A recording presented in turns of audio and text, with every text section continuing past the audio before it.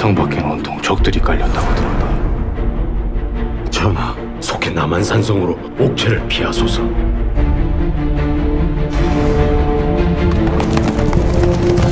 세자를 보내라고. 세자 저하를 물무로 보내지 않으면 화치는 없을 것이라 하였사옵니다. 전하!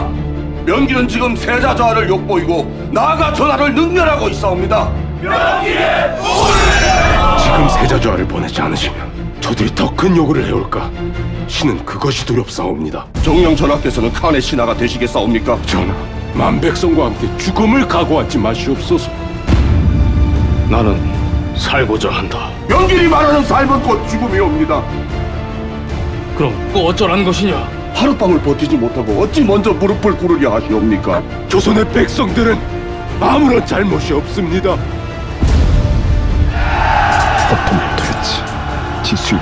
군사들은 모두 죽일 수는 없습니다 제발 공격을 멈추시오! 내가 이 일을 해내면